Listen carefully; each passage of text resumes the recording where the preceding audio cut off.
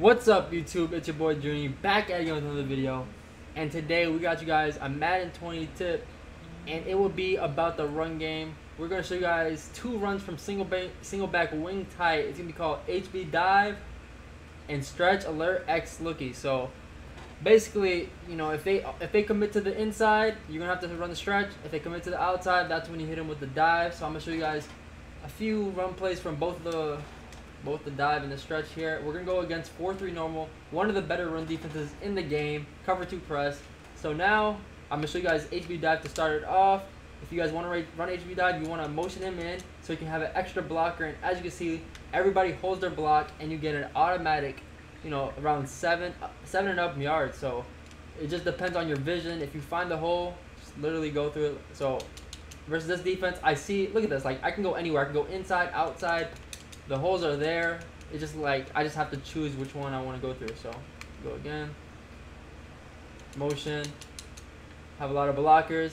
That time I was actually kind of lucky that he shed it off the alignment, but I still, you know, get a spin and get around seven yards. We're going to do it one more time. Show you guys again. Yeah, and boom, look at this.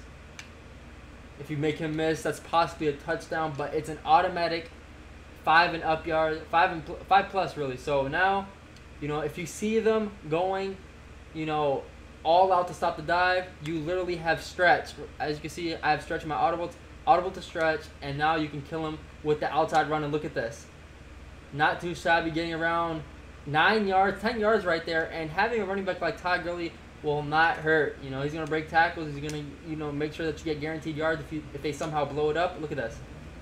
Come on, man. Like, what more can you ask for for two runs in the same set? You can attack the outside, attack the inside, and it's just up to you. Look at this. I mean, it's you still got around four yards without the motion, but with the motion, you get so many yards. Do stretch to finish off the video, and as you can tell, look at this. 30 yards, man. So, as you can tell, this set is really overpowered for the runs, dive, stretch, and I hope you guys use it one more time to show to finish off the video. Look at the blocking. It's there. And hopefully you guys enjoyed. Hopefully you guys can put this in your scheme. This is just one of my quick videos that you know I'll be doing throughout the whole year. Hopefully you guys enjoyed. I'm out of here. Peace out, yo.